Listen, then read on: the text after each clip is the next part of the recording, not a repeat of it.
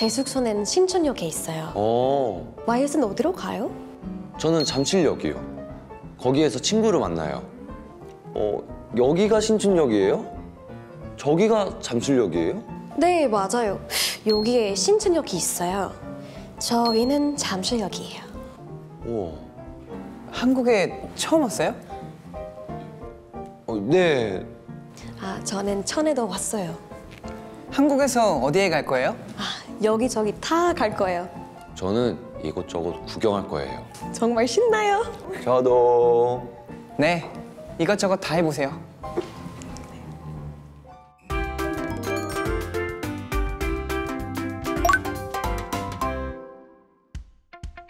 Seoul is the hub of Korea's well organized public transportation. Well, then, are you ready to learn some Korean expressions to ask about places? When you're in an unfamiliar place, use words like 여기, 거기, 저기 to ask about your surroundings. 여기 is used to talk about something nearby where you are. For example, if you want to ask if you are at Shinchon Station, in Korean you would say 여기가 신촌역이에요. To check about somewhere that's far from you but close to your listener, you ask 거기가 신촌역이에요.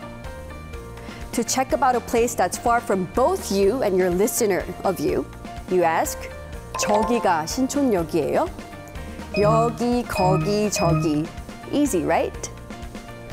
Like Wyatt said when he was meeting a friend at Chamsil Station, he used 거기 to refer to the place he was already talking about. He said, 거기에서 친구를 만나요. All right then, how would you say the bathroom is nearby here? 여기에 화장실이 있어요. And how would you say the subway station is o- over there? You say, 저기는 지하철역이에요. And one more thing. If you want to talk about several places at once and show you have no fixed dex- destination in mind, you use 여기저기 and 이곳저곳. Like the expressions 여기저기 다 갈 거예요 or 이곳저곳 구경할 거예요. 이것저것 is used when you are talking about a number of unspecific places or things. And you can also say 이것저것 다 해보세요.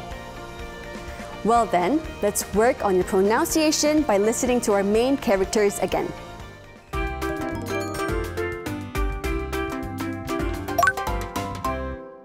여기가 신촌역이에요?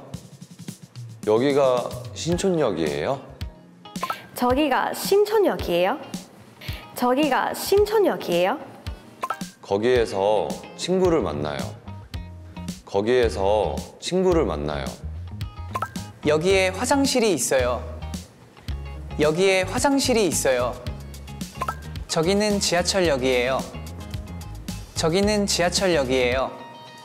여기저기, 여기저기, 여기저기 다 갈 거예요.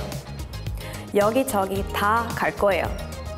이곳저곳, 이곳저곳, 이곳저곳 구경할 거예요.